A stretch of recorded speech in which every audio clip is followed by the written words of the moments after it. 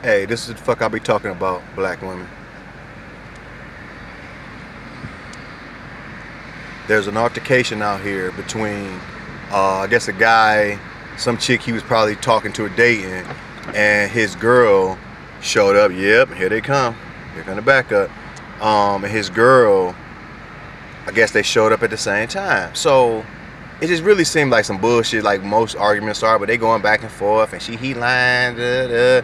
The one chick tried to hit him with a bottle, uh, or whatnot. So he's trying to get the the one his main girl to listen and to come here, you know, uh, hey, come here, like like she's neither one of them are being cooperative, y'all, and that's part of the problem, and that's part of the setup. Um, women are supposed to be submissive to their king and their lion, man. They can't. He can't even fucking begin to be a lion if you just ain't fucking submissive, man. You know. Um, and the thing is, y'all, black women in slavery when they conquered um, the non-white people, um, one of their processes to control and to continue the the uh, the subjugation of the group was they put the female in charge, right?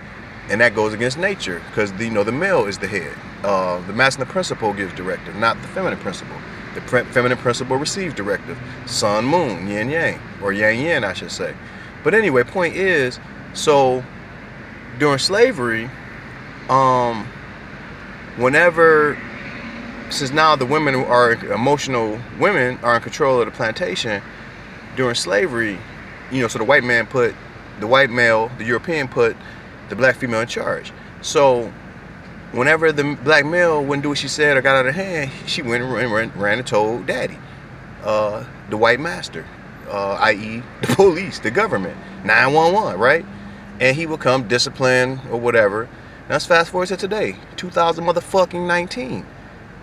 You don't get your way. First thing that chick did, y'all, and I got it on my other video, but I, I'm just gonna, I'm just gonna leave this one up. But I got it in the other video. First thing the chick did, cop pull up, ran from the dude and ran to the cop, started telling. And then the other chick came right after that, she started telling. You see what I'm saying, y'all? Nigga, I, you know, I, I wish that was my guy. Because I would teach him, you stay the fuck away, man. Because the whole, the whole key is to put us right back in change, y'all. So they so they so they condition our woman to be complicit in our demise. And as you see today, the black male has been eliminated, man. You can find a group of uh, gay black males to uh, to kind of um, rendezvous with or whatnot. But as far as the masculine male as a group, as a whole, man, they finished us off in the, ni- the 90s and the early 2000s, man. And now they finishing off the females. So, anyway, it's your boy YL. Hope you're having a good one. Peace.